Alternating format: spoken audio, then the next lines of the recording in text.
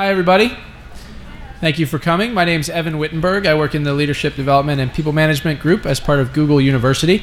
And we're very excited today to be introducing Tony Schwartz as our next uh, Leading at Google lecture. Tony has an interesting history. Currently, he's the founder, president, and CEO of a company called the Energy Project, which deals all about with how to manage your energy, not your time, to be more effective and achieve optimal performance in the workplace, at home, in life, etc. Um, his background is really interesting. He began his career as a journalist. He was a reporter for the New York Times, associate editor at Newsweek, staff writer at New York and Esquire magazines, and a columnist for Fast Company. He also, as a little dirty secret from his past, co authored the number one international bestseller, The Art of the Deal, with Donald Trump. So if you have questions about his opinion of Trump, you can ask him later. Uh, and more importantly, wrote a book called What Really Matters Searching for Wisdom in America. What he's here to talk to us today about is, is what I alluded to before how we can be more effective uh, by thinking about our energy throughout the day rather than our time. And um, he's actually piloted his two day version of the course here at Google that some people in the audience raise your hand if you've been through that. The course, a couple people. So uh, you can look around and ask them later if you want to know how that was, and we'll be announcing more about that um, in the next few weeks. Couple important things that Tony's asked. Uh, one thing that you'll learn about in this book when you read it, for those of you who got it, The Power of Full Engagement, is that the brain is actually unable to multitask. So Tony is asked to please close your laptops unless you're actually taking notes about this because it's not possible to pay attention to both, even though we fool ourselves about that all the time. Um, there will be time at the end for questions, and I would ask you to please come up to this microphone at the end if you have questions um, about the talk. Hopefully, Tony will keep you engaged so you won't be tempted to go back to the Blackberries and uh, computers throughout the talk. And I think without further ado, let me introduce Tony Schwartz. Welcome. Thank you. Thank you. Good morning. It's great to be here. What a wonderful day. Uh, this work is, uh, comes out of a passion of mine that began somewhere in my teens when other people were doing things very different than I was doing. I was trying to figure out what life was all about and what made it possible what was it that made it possible, I guess, back then to be a happier and more satisfied human being than I was, growing up in a difficult New York Jewish family?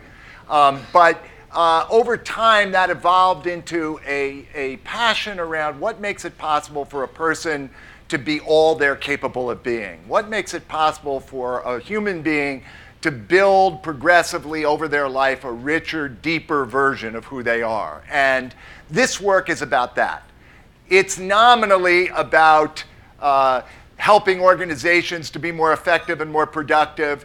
It's nominally about the difference about what it takes to be a great leader. But I deeply believe that you can be a great human being and it may or may not have any impact on, um, I'm sorry, you could be a, yes, you could be a great human being and may or may not have any impact on whether you can be a great leader. But you can't be a great leader if you're not a great human being. And so, to me, the work of leadership, the work of really being the most effective you can possibly be, begins with the work of yourself. And so, today, I'm going to give you just a little taste of it. You're going to see that it's oriented a little bit in the physical direction, and that's largely because everything begins with the body. I want to assure you that if you uh, choose to, if you're uh, intrigued by this work, that there's a lot more to it, and that we ultimately take account of quite a wide variety of components that influence your capacity to show up with everything you've got in each part of your life. So, what is it that starts us off? What is it that uh, makes it possible for me to get folks interested in bringing me into organizations? And basically, it's this it's that we have developed a gap between demand and capacity. So here's the deal. Um, in your lives, what happens is when you're born, you obviously have very low demand. You make a lot of demands, but you don't have a lot of demand. And your demand progressively goes up over time. And in the world we live in, it just keeps on going until hopefully one day you drop off the face of the cliff and your demand ends in the most graceful way possible. But in the meantime, um, what's happening is that in the absence of a conscious and intentional intervention on your part, the capacity you bring to the table is rising no matter what you do. How many people here? Well, I don't want to ask that quite yet. The the capacity in your life is rising no matter what you do to your body, no matter what you do to yourself. Your capacity just keeps on going up. But it hits a peak at a certain point in your life in the absence of intervention. What age do you think that peak is? 45. Unfortunately, it is 30, not 45. Now, in this group, unlike most of the groups I talk to, that's not yet such bad news for you because you're not there yet. But guess what? Even if you're not, I promise you will be. And what happens then is that your capacity progressively diminishes over time, most especially, most especially at the physical level. So, for example, in the absence of your doing anything to keep this from happening, from the age of 30 on, you will lose one half pound of lean muscle mass every year for the rest of your life. That's not good news. And the reason it's not good news is that demand is not only, how many of you would say that the demand in your life over the last two or three years is as high as it's ever been in your life? Okay? And how many of you expect, given that you've probably pushed yourself pretty damn hard to get to where you are today, that over the next year, the demand in your life will finally begin to diminish. So, in other words, your demand is the highest it's been ever in, in, over the last three years, and you have every expectation that it's going to continue to rise, at a minimum, not to diminish. Let me ask you this question How many of you think that along with your demand, your capacity will rise systematically to keep pace with your demand over the next period of time. Houston, we got a problem. It's this problem, it's this gap. And that's the game we're in the, in the business of trying to address. So, the, the issue is that when it comes to meeting demand, the, the number one resource most of us use, naturally use, instinctively use, is our time. So if you've got more demand, you put in more hours. And I'm sure that many of you are putting in a lot of hours. And in fact, organizations, even progressive organizations like Google, even if it doesn't say it, even if it has all sorts of wonderful things to give you an opportunity not to be working, does in fact value you to a considerable degree based on the number of hours it's perceived that you invest. Now that's great for a certain period of time. But when you reach the limit of the number of hours you have available to invest, you've got a problem when it comes to expanding your capacity, don't you? How many people here would like me to stop, spend a few minutes giving you some advice on how to use your free hours? So we're already, that dance card's already full, isn't it? That dance card's full, and the bottom line is that time is finite. You've got 168 hours in the week, you're never going to have another, another hour, and you already don't have any free, but I guess your, but I know that your demand is rising. So that's not going to solve your problem. If we are going to make it possible to meet the increasing demand in our lives, to take account of the fact that we live in a more complex world, what you're going to have to do is you're going to have to find a way other than time to get more done. In other words, you're going to have to get more done in less time. And the only way that we have recognized that that really fundamentally is possible is to go after a different resource, and that resource is energy. And the reason energy is a good resource to use is because energy, unlike time, is inside you. Time is outside you, it moves by you like a train, and once it's gone, it's gone forever. But energy is inside you, and it can be systematically expanded and it can be regularly renewed. So energy is a fabulous resource to put at your disposal, but what is energy? What is energy? Because it's easy to say energy. There's all kinds of energy, and uh, you know, it's easy to get real soft on the idea of energy. One of the reasons that organizations use hours is they're very clear to calibrate. Minutes, hours, days, that's really easy to calibrate. Energy is more ambiguous, more subjective. So, what is energy? Well, it turns out actually, energy has been defined. Energy is the capacity to do work. That's what you got in your physics courses, right? Energy is the capacity to do work. So, in other words, in simple terms, if you have more energy, you have more capacity, don't you? So, in other words, if I can help you to systematically build the reservoir of energy that you have available, if I can put more fuel in your tank, then presumably you'll have more capacity. We tend to focus on skills and competencies. That's the life you've lived. You've all developed an enormous number of skills. You've had all kinds of achievements around skills, and you've been measured by how many of those skills you have. You got into Google because you have more than most people, way more than most people. But here's the problem in a demand laden world with focusing simply on capacity. I'm sorry, on competency. Capacity is underneath competency. Capacity is what makes it possible for you to bring your skill and talent to life. You can't run on empty, although a lot of us try to do it.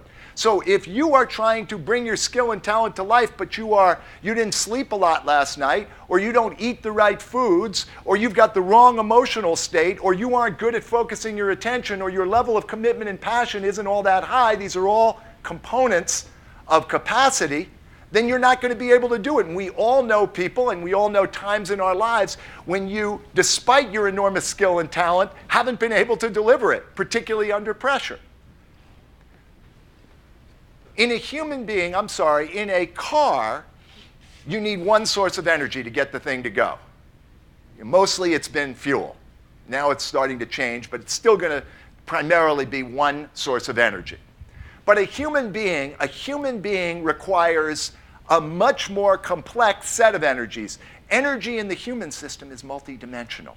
We need four separate sources of energy in order to be able to perform at our best. Each one of them is necessary, none of them is sufficient by itself, and they deeply influence one another. So you can't get by, or I shouldn't say get by, you can get by using only one or two of them to any great effect, but you can't operate at your best if you do that. So, what are these four sources of energy?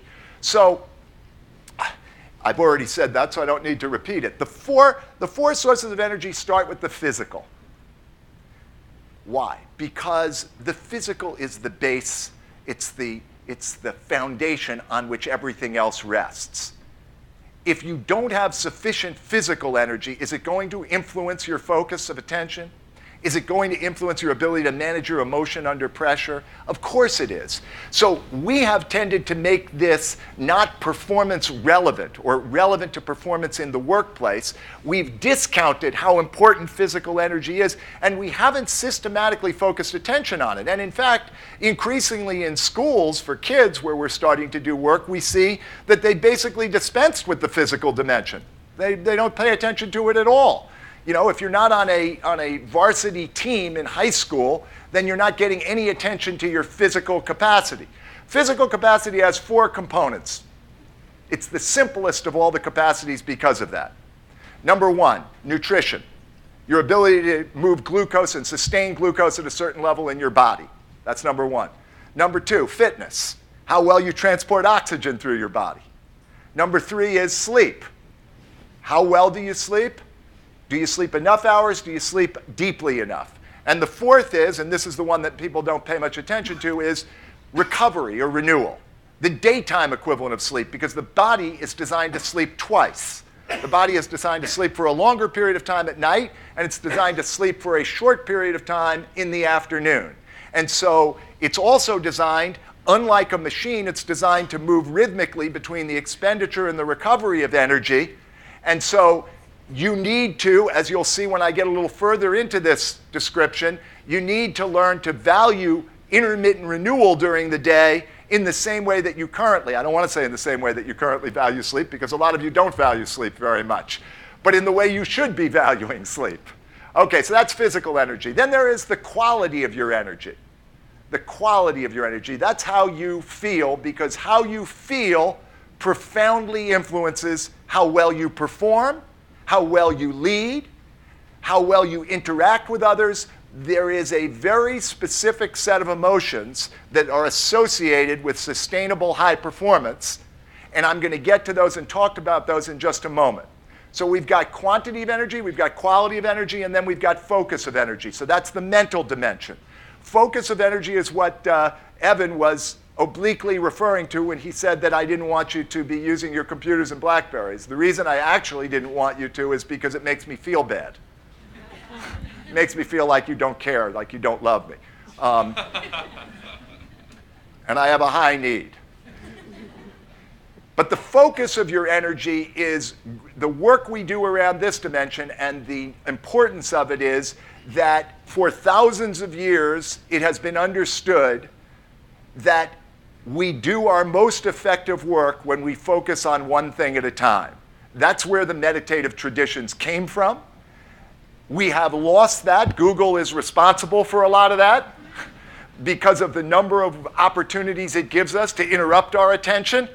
But there are thousands of ways now that we get our attention interrupted, and it's at extraordinary cost to your productivity. It's also at extraordinary cost to the depth of work that you do. You know that if you go out and try to take a run, for example, that the first two or three minutes or the first five minutes, how do you feel? You don't feel very good. You're not warmed up. You're not feeling like your muscles are warm, like you're loose, like you're in your rhythm. Well, the same thing is true mentally. If you try to begin a hard task for the first three minutes or five minutes or eight minutes or whatever it is for you, you're going to be half there and half not there. You are slowly dropping down into a state of absorption.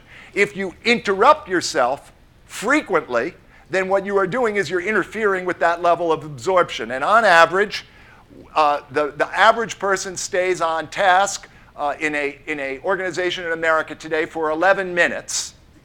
11 minutes on a task before they go on to another task. But during those 11 minutes, they interrupt themselves with something an average of every three minutes. So you can see that we've got a big interference with our ability to bring absorbed attention to the table, which is part of the energy equation. And then finally, there is the one that sounds the softest, is in fact probably the most important, which is what we call the energy of the human spirit. The energy of the human spirit is the energy derived from the sense, from the experience of purpose and from an alignment between what you say is important in your life and how you actually live. And the better that alignment, the more powerful the source of energy available to you. In fact, this energy drives, this is the why, the others are the hows. This why energy drives your behavior at all the other levels. So it's an additional source of energy emotionally, mentally, and physically when you've got it in place. So, four sources of energy. If you've got all those four sources of energy happening for you, if you've got that full reservoir of them, then you can fire on all cylinders. How many of you got those nailed, those four? Let's find out. You got a pencil? You got something that you can write on? I'm going to take you through a little energy audit. That's what we call it, a little energy audit to give you a sense of how you're doing in terms of these four dimensions of energy how much energy do you have available to you in each of these four dimensions? This little uh, audit is designed around what we have determined, and it's very strongly research based. If you go on our website, theenergyproject.com, you will see a database for everything that I'm talking about. So I'm not talking about these things because they occurred to me as good ideas. This is our gathering of the research. So um, what I want you to do is in each of these questions, I'd like you to answer, I'd like you to just make a check mark on your paper if the answer to the question is yes. That's all you have to do. And then at the end, we'll add up the yes answers. Bad news is, this is one of those rare tests where getting a yes doesn't serve you well. Number one, I don't regularly get at least seven to eight hours of sleep, and I often wake up feeling tired. Number two, I frequently skip breakfast or I settle for something that isn't particularly healthy. Number three, I don't work out enough, meaning cardiovascular training at least three times a week and strength training at least once a week. If you don't do both of those, you're a yes. Number four, I don't take regular breaks during the day to renew and recharge, and I often eat lunch at my desk if I eat lunch at all. Number five, I frequently find myself feeling irritable, impatient, or anxious at work, especially when demand is high. Number six, I don't have enough time with my family and loved ones, and when I'm with them, I'm not always really with them. Number seven, I take too little time in my life for the activities that I most deeply enjoy. Number eight, I rarely stop to express my appreciation to others or to savor and celebrate my accomplishments and blessings. If you don't do both those things, you're a yes. Number nine, I have difficulty focusing on one thing at a time, and I'm easily distracted during the day, especially by email. That's a yes for all of you. Number 10, I spend much of my time reacting to immediate demands rather than focusing on activities with long term value and higher leverage. Number 11, I don't take enough time for reflection, strategizing, or thinking creatively. Number 12, I work in the evenings and or on the weekends and I rarely take a vacation free of work, if I take a vacation at all. Number 13, I spend too little time at work doing what I do best and enjoy most. Number 14, there's significant gaps between what I say is important in my life and how I actually live. I say that my girlfriend, significant other, wife, husband is important, but I don't spend much time or energy on that. Number 15, my decisions at work are more influenced by external demands than by a strong, clear sense of my own purpose. And finally, number 16, I don't invest enough positive time and energy in making a positive difference to others in the world. Totem up.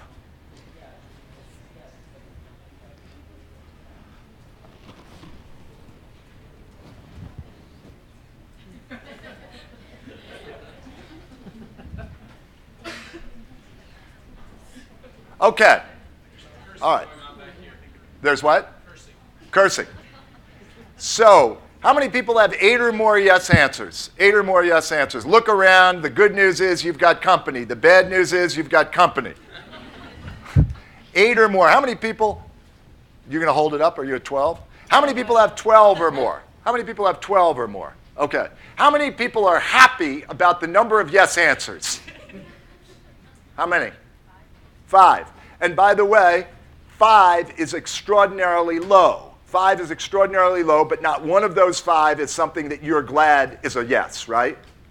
Right. So here's the interesting thing. I don't want to get into this too deeply because of the time limitations, but just at the most simple and su- simple level, if you have eight yes answers, think of it as 50% of the potential capacity available to you that is not currently available to you. That's enormous. What is this all about? Why does this happen? And I will submit to you that the reason this happens is because we don't make capacity important, because we take capacity for granted. We assume that if the demand goes up, our capacity will expand naturally to meet it. But that's not the way it works, and it takes a toll not only at the pro- level of productivity, but it takes a toll emotionally, it takes a toll spiritually, and it takes a toll physically. So, what really happens is that we go numb to this reality. We tend to not notice this. Once I put this up and you look at these answers and you say to yourself, oh my God, these are central things in life that are dead obvious that I should be doing and I don't do them. You have a hundred stories you can tell me if I gave you the time about why you don't do them, but the reality is it's not doing you any good not to do them and it's getting in the way both in your professional and in your personal life. So once I raise it up into consciousness, which is step one, now you can say to yourself, okay, so what do I do about this? What do I do about this? Because Tony, and this is the story part that begins, I am working really long hours. I've got a long commute. I've got obligations with my family. I've got other things I'd like to do. I can't do all these things, so get real. All right, well, I want to look at this because the real issue for you, once you've got this up and you're looking at it dead honest, and when you walk out of here, I hope you will. In fact, anybody who would like me to send you the energy audit, I'd be happy to send it through Evan, and he will send it to anybody who wants it. So give me your, a card at the end, and I'll get you the energy audit so you can keep track of how you're doing as the future unfolds before you. But what, what I want to look at now is I want to look at the consequence of your having whatever level of capacity you have. And the way I want to look at it is in a very simple form based on the understanding that we have four different energy states that we can find ourselves in in the course of a day, but only one of those energy states serves us best. And th- those energy states are fed by each of these dimensions that we've already been talking about, by how much capacity you have in each of these four tanks. So I want to look at the practical result of your having uh, those relatively frightening scores that most of you have. Um, and this too can become a very simple way. I'd also be happy when it's done to send you this slide. This too is something that you can keep as a barometer or as a measure of how you're doing in the course of a day. So let's take a look at it. We call this the energy quadrants, okay? Um, now, um, the vertical axis refers to the quantity of your energy from low to high, okay? And then the horizontal axis refers to the quality of your energy from negative to positive. So therefore, we end up having four quadrants, four different kinds of energy. So let me ask you this. If I ask you, how do you feel? How do you feel when you're performing at your best? I'd like you to just throw out some adjectives at me. I'd like you to throw out some adjectives that define how you feel when you're performing at your best. Aligned, happy, satisfied, aligned, happy, fulfilled, energized, excited, exuberant. Okay, which quadrant do those go in? high positive, the upper right quadrant, there's absolutely no question that those are the adjectives that you feel. Those are the feelings you have when you're performing at your best. This is a no brainer. This is a no brainer. And no matter how many people we've asked this question to, we began our work 25 years ago with professional athletes, and we were told that uh, at that time the, the prevailing view in sports psychology was that uh, what athletes felt when they were performing at their best included a mild amount of anxiety. So we started asking people, you know, is that what you're feeling? Do you feel a mild anxiety? The answer was 100% no. They answered just the way you answered. What we feel are positive emotions when we're performing at our best. Maybe before you perform, you are feeling a little bit anxious in a performance demand. But if you're feeling anxious when you're actually performing, be guaranteed you're not going to perform at your best. So there it is. That's the, how many of you have learned something that you didn't know by seeing that those are the emotions associated with high performance? Nobody, right? Nobody. That's no big surprise. Here's the surprise. If you're not feeling this way, you can't perform at your best. Why is that a surprise? Well, because I have to ask you this question Is this the way you are feeling at work? Energized, focused, passionate, confident, exuberant, the vast majority of the time. Are there times when you're not feeling this way at work? Is there anybody who sometimes doesn't feel those emotions at work? so then the question becomes so when you're not feeling this way, how are you feeling and what's the consequence, right? Because we need to know in the cost benefit ratio if you aren't fueling yourself with the right emotions, What's the cost? What's the consequence? So I'm going to start here on the upper left because it's the only other zone, energy zone, that has energy in it. And absent energy, or significant energy, absent energy, I don't care whether it's negative or positive, you're not going to be very effective in work. So when you look at this, we call this the survival zone. Now, it's interesting. The only reason any of these zones exist is because there is some circumstance or circumstances in your life when it's appropriate to be in this zone. Otherwise, from an evolutionary perspective, it would be naturally selected out, wouldn't it? It only exists because there's a value in it. In other words, there's a time in your life when it makes sense to be in this zone. It serves you best to be in this zone. When is it?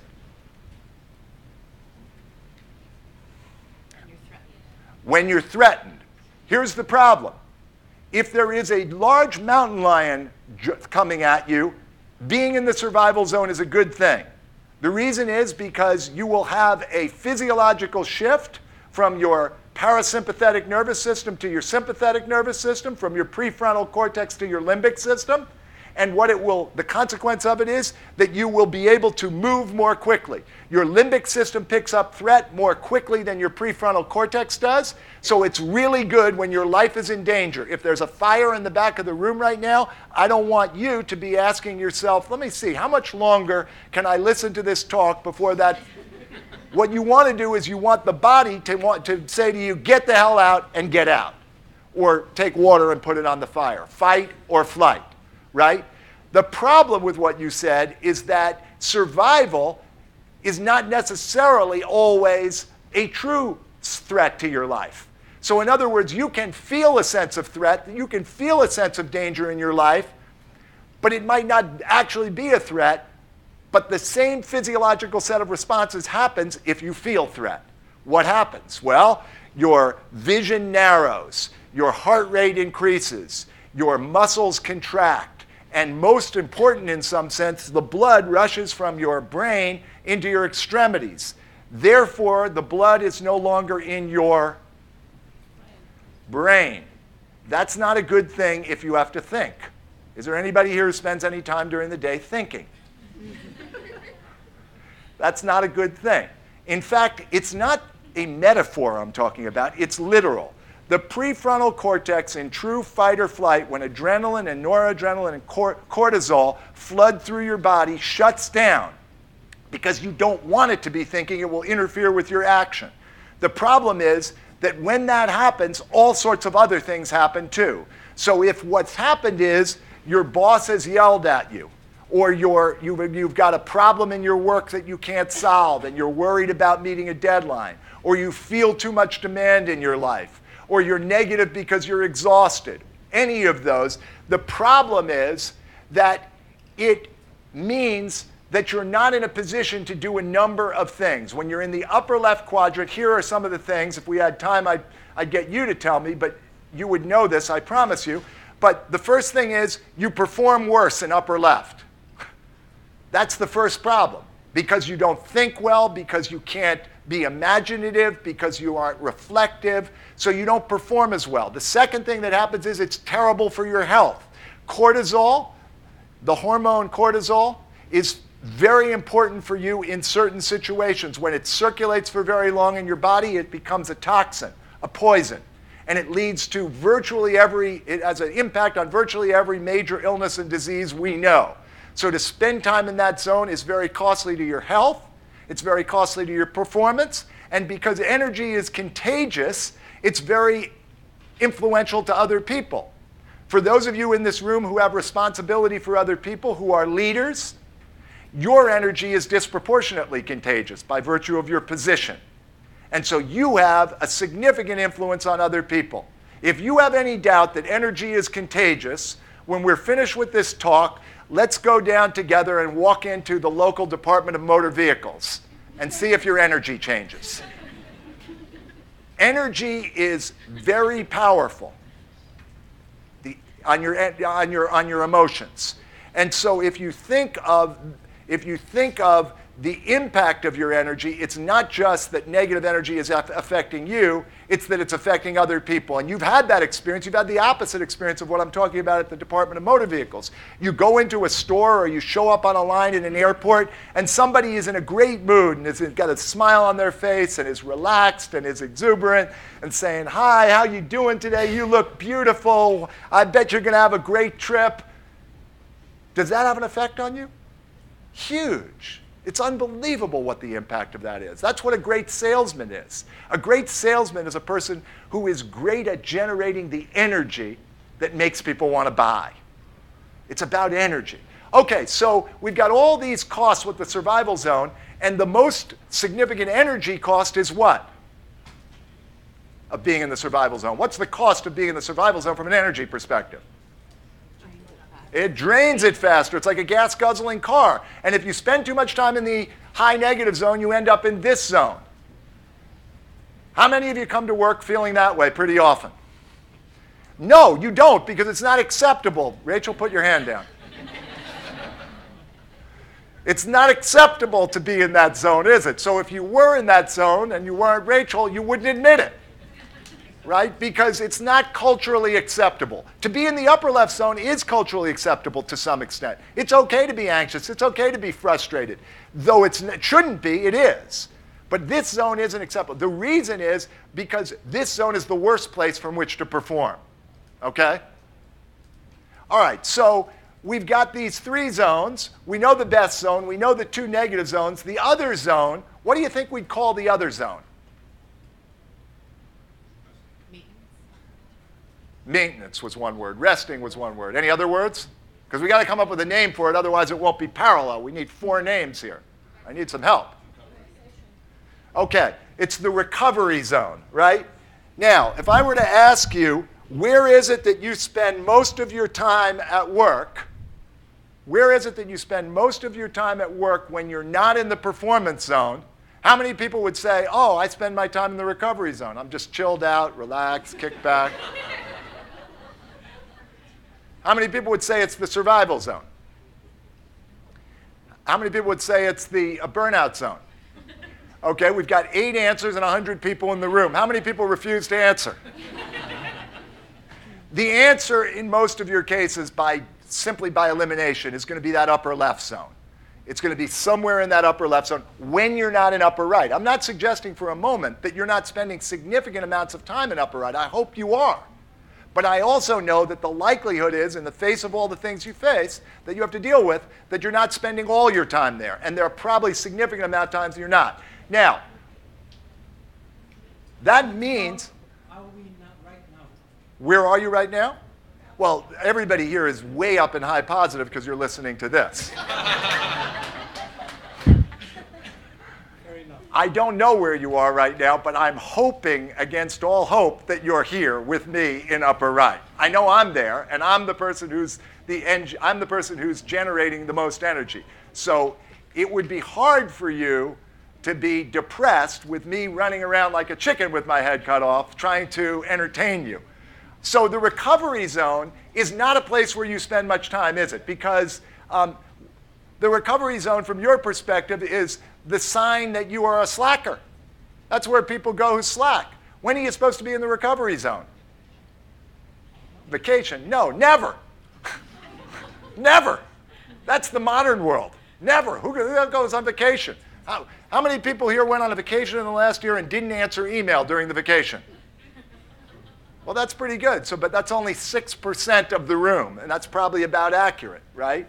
Okay, so the recovery zone gets no respect. The recovery zone gets no respect. And the biggest, the biggest insight, in some ways, that I'm going to be able to share with you today is an insight that has to do with shifting the locus or the movement that characterizes your day in terms of energy states. So, right now, what we know is well, now, right now, what we know is that in the course of the day, depending on what happens, you end up being pulled reactively into this zone by certain events. Am I, were we on that page together? Okay.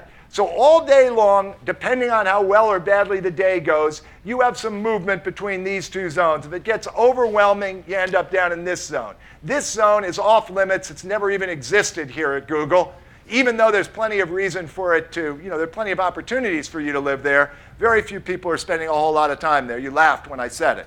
Now, what I'm going to suggest to you is a paradigm shift, a profound paradigm shift in how you think about performance. Because what we learned is that the best movement for you to be making in the course of a day is intermittently and intentionally between upper right and lower right. Because we are not designed as machines, we are rhythmic beings and we are designed, we need to intermittently recover energy if we want to sustain energy at the highest level. And that brings me to the second principle that in order for us to sustain performance, we need to learn to balance the expenditure of energy with the intermittent renewal of energy. That's a pretty radical notion. Nobody is thinking that it really is performance valuable for your performance to build true renewal intermittently throughout the day.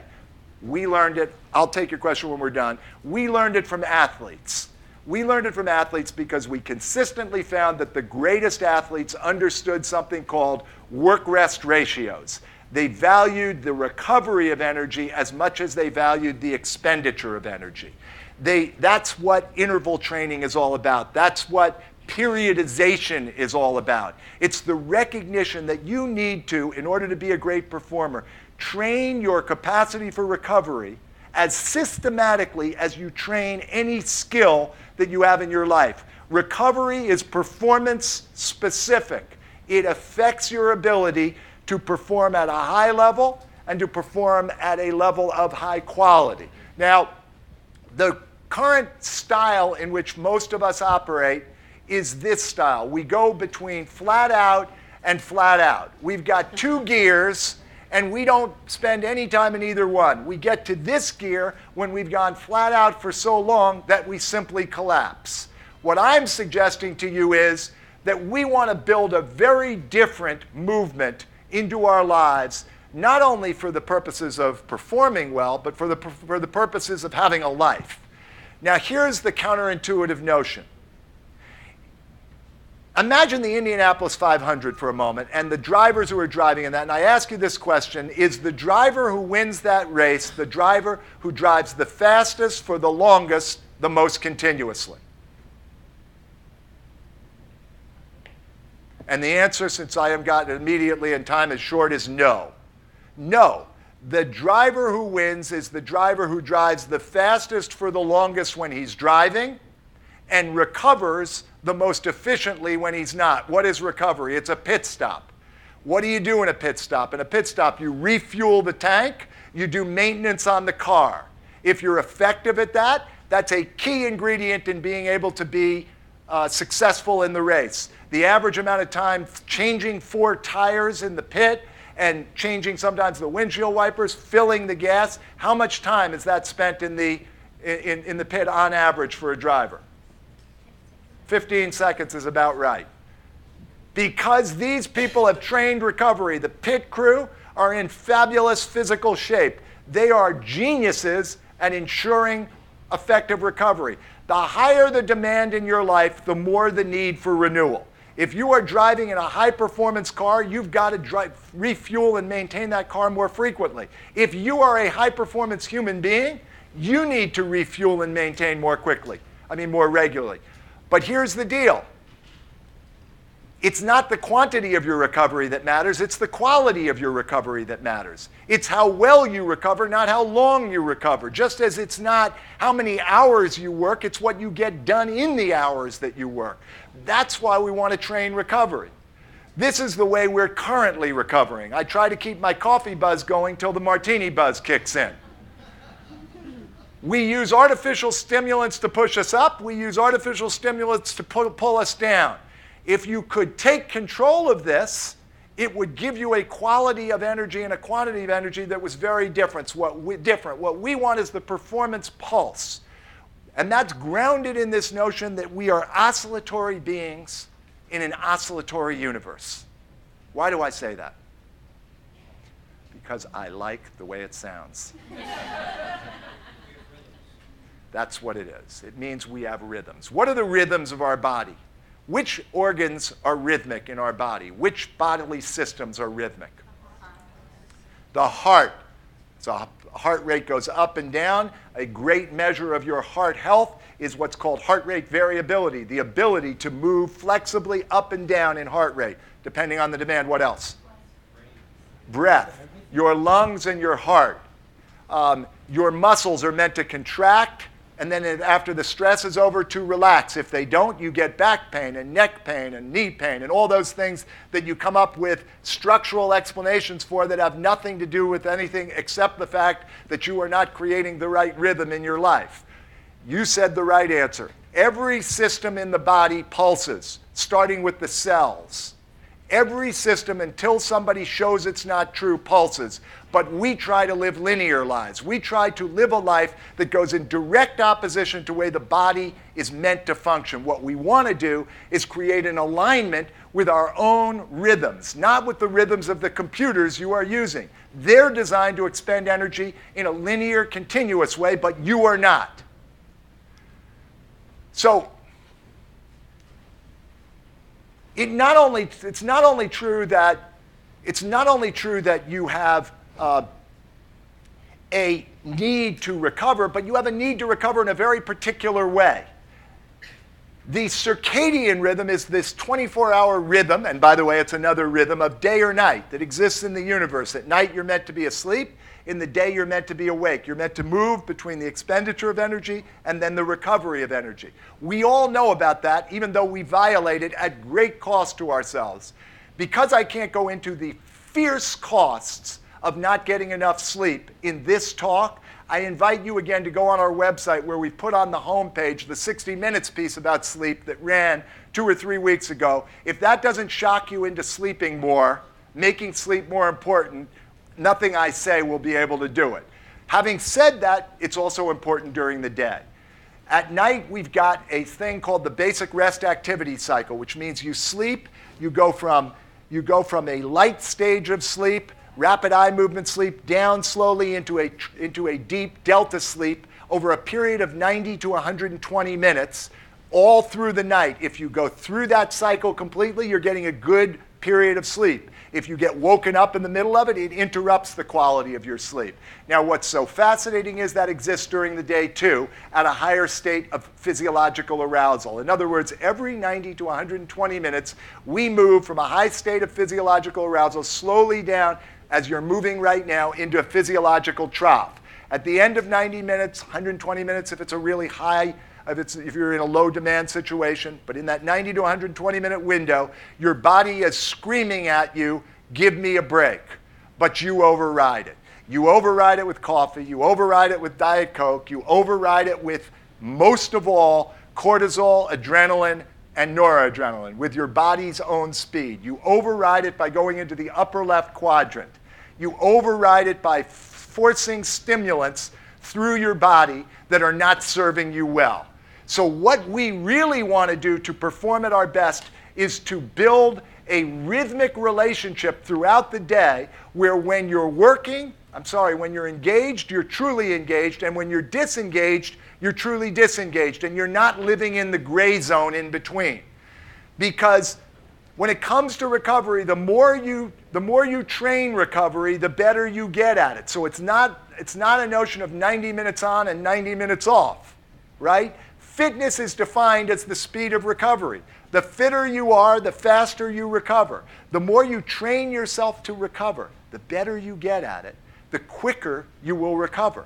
We're talking about sustainable high performance. We're talking about the ability to meet very high demand. These are the scientific, well researched pieces of core evidence that suggest what it takes to show up every day here with all that you've got. I'm going to skip that slide, and I'm going to say to you that we want to move between currently what's happening in our lives. If you wanted to take away a visual image to remember, we're moving all day, as I said just a few moments ago, between this upper right and upper left zone, reactively in the face of demand. One of the reasons we move there is we run out of energy. When you get more tired, you get more irritable, you get more frustrated, you get more anxious. What you really want to do in your life is you want to move to this intentional way of managing your energy so that every 90 to 120 minutes, what you're doing is you're renewing energy. This is the paradigm shift. Right now, you live life, most of you, as if you're in a marathon, meaning there is a long race out ahead, there's no end in sight, and so either consciously or unconsciously, you pace yourself. You pace yourself by not fully engaging at any given time in almost anything, because if you tried to push yourself as hard as you're capable of pushing yourself for an extended period of time, you drop like a stone. So instead of doing that, you find ways to cheat on the engagement and expenditure of energy. Sometimes aware that you're doing it, sometimes not. I'm suggesting you a really radical idea. Reinvent yourself as a sprinter. What is a sprinter? A sprinter comes up to the line, gets down in the crouch, looks down to the end of the, the end of the race, 100 yards, 200 yards, 400 yards, and says, Can I fully expend, can I bring 100% engagement to this race? And what does the sprinter answer? You bet your life. Why?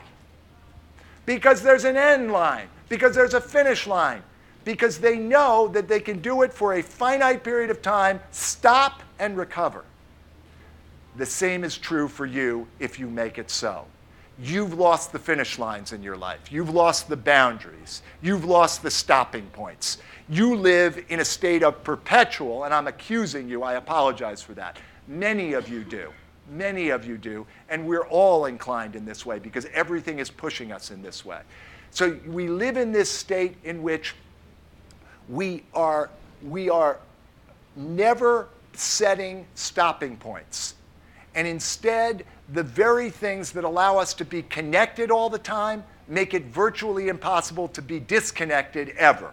And you know what I'm talking about. Here's the deal. How many people in this room would say that based on what I've said so far, what I'm saying as a way of thinking about how you operate, about how you perform, makes fundamental sense to you? It makes sense. Okay. How many of you, based on what I've told you, would say that you're going to walk out of this room and starting today, based on what I've told you, you are going to fundamentally make some changes in your life that are in accordance with everything I've said, and please be honest. So we're at two or three, okay? So why not? It's not my fault. Let me tell you that first. It's not my fault. The reason that you're not going to is because we're creatures of habit. Because what you did yesterday is what you're going to do today and do again tomorrow. We are remarkably automatic creatures. We need to take this in, into account when we're making change in our life. We need to recognize that our prefrontal cortex, our conscious thinking, is not the best way to make change. What we need to do instead is we need to co opt the autonomic nervous system. We need to co opt the part of our physiology that gets things done automatically by training ourselves through regular repetition to do the thing so that it shows up without our having to think about it. That's the final energy management principle. To manage your energy more optimally, you have to build what we call positive rituals. These are highly specific behaviors that become automatic over time. So, what I'm suggesting to you is that you think about, when you leave here today, you think about one of those answers on that energy audit that upsets you, that makes you recognize it's incurring or creating a really high cost in your life and think about what could I do to ritualize a change of behavior that would make it possible for me to get a no answer to that question I have a yes answer to. So if it were something like working out, for example, I want to give you a very simple example. And you said to me, Tony, I'm so inspired by what you said. I realized that working out would not only be good for my physical energy, but it would be a great thing for my emotional and my energy and for my focus. I'm all with you. I'm going to start doing it tomorrow, and I'm going to do it three days a week from now on. What are the odds you're going to succeed? Very low. Why? It's not specific enough. It's not precise enough. When are you going to do it?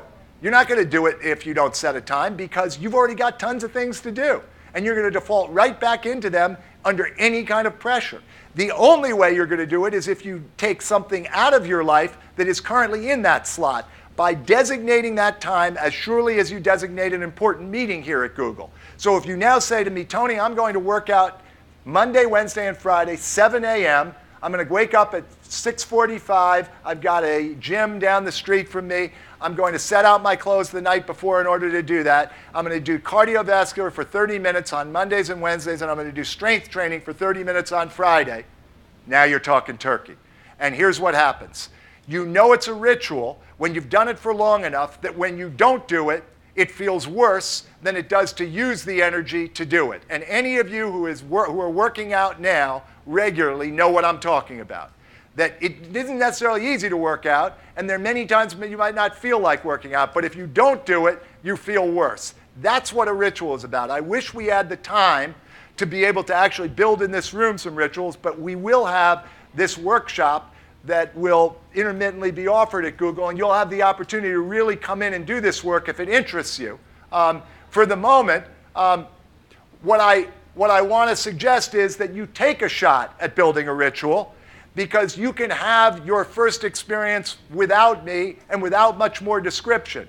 Take in the next hour, because if, it, if you wait more than an hour, your motivation is going to go down.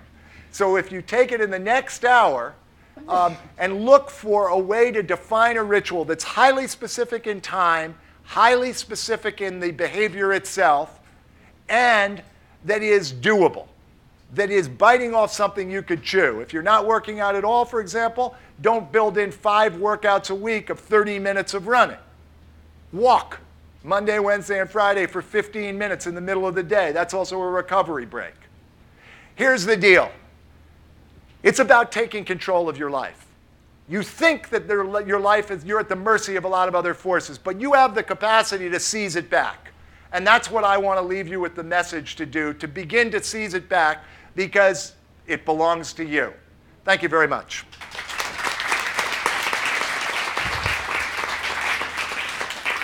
I would be happy to take a few questions.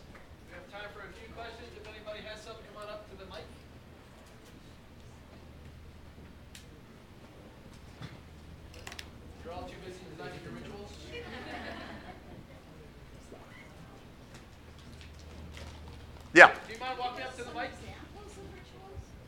An example of a ritual. An example of a ritual. Well, I gave you an example of a physical ritual. And an example of, a, of, of, an emotional ritual that we found is very pow- powerful is what, what do you want to do emotionally? What you want to do emotionally is you want to drive as much positive energy into your reservoir as you can because we default to negative emotions. It's the way we're constructed biologically. So the more the more positive energy you have in the system, the better off you are. So, what behaviors could influence your ability to have more positive emotion at your disposal, partic- at your disposal particularly under pressure? Well, an example, a couple examples we have are um, writing a note of appreciation to someone in your life who you think deserves a recognition they're not getting enough of. Um, turns out to be something that has a remarkably powerful effect on the other person, but also on you. And so one ritual might be to take once or twice a week where you write a note to someone. A second emotional ritual might be to, um, to take at the very end of the day before you go to sleep or as you're about to leave to take a little inventory, maybe in a journal or a notebook, of what's right in my life. What are three things that are right in my life right now? Because it's a technology of, in, of, of injecting the right fuel into your life. A mental ritual might be something like doing the most important thing first in the morning, making the first 90 minutes of your day every day or the first 60 minutes an activity that is from your, from your perspective, the one that would provide or create the greatest value over the course of the rest of the day, and making that the most important thing you do. Instead of answering your email first and being in reactive mode, being at the mercy of somebody else's agenda, making that the most important thing. Making it specific in time, planning it the night before is what makes it possible to move from an intention into a habit. Sure. I just wanted to see if you'd share the example from your book about um, your work with the tennis players, about trying to find the difference between the top few tennis players. Yeah, I'll, I'll, I'll, I'll, tell you this very, very quickly. It's the slide I skipped. God bless you. Um, can't get away with anything at Google what we discovered when we really discovered the, the, the, power of renewal was when we were watching tennis players trying to understand what made the difference between the great players and the next set of players because we were working with many of the top 200 and it was very hard to see from when they were playing what the difference was. One day we were watching my, uh, my former partner and i uh, actually my former partner was watching um, the uh, top was watching two top players on the same court, and what he noticed was a man named Jim Loehr. What he noticed was that between points, these two players were doing the exact same set of four sequenced activities. Neither of them was aware that they were doing it themselves, much less that the other one was doing it. What they were accomplishing, and what you were asking about, was renewal. What they were doing was they were systematically using the 20 to 30 seconds between points to refuel their, uh, to refuel their bodies. They were doing it by first turning away from the net so that they left the point behind them, switching the racket from the dominant to the non dominant hand so they allowed the arm to relax, starting to play with the strings of the racket so that they could keep their attention narrowly focused on the task at hand, and walking in a way that we came to call the uh, peacock walk, which is a walk like this, because how you hold yourself influences how you feel. So if you feel better, obviously you are in a position to perform better. So those four sequence set of activities led to a heart rate drop when we started measuring it of somewhere around one heartbeat per second. So the great players were getting 20 to 30 heartbeats of recovery between every point, And the players who weren't doing this sequence set of recovery activities were getting virtually none. Um, so your points are very well taken, but somewhere along the line you made an assumption that I don't quite agree with. You're assuming that we're oscillating between the high energy, between positive and negative feelings, whereas I think we're actually, I find myself oscillating between the, the high and low energy. So I'm going to go to lunch afterwards, and after lunch I'm going to have this post-lunch lull. I'm not going to feel negative feelings towards people. I'm just going to feel sort of tired and, and wanting to sleep. Yeah, and, and you know, I can tell you that if you learn to manage your energy more skillfully and build recovery periods starting an hour and a half after you first get to work and work intensely and then consciously and intentionally recover effectively, the recovery will mean that you won't come out of lunch with the afternoon lull. How do I know that? I know that because it doesn't happen to me. I know that because I used to be dead tired in the afternoon. Now, you can't overcome the core physiology. So you are going to be more tired at 2:30 or 3 trying to do a task than you would at 10, which is why you ought to be doing the high demand kinds of activities, the really complex activities earlier in the day or past that circadian trough. But I will promise you that you will get a much more even availability of uh, energy if you more regularly and intermittently build in periods of recovery. So that's all the time we have. Uh, Tony will be up here for questions after, and we're also going to go to lunch. So anybody who'd like to join uh, Tony, Tony for lunch, please come up here afterwards. And let's uh, thank Tony so much for his time here.